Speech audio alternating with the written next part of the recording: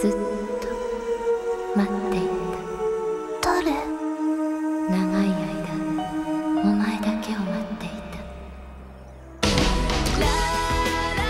私絹本さくらみんなと一緒に香港へ行ったの。とっても楽しい旅行になるはずだったんだけど。でも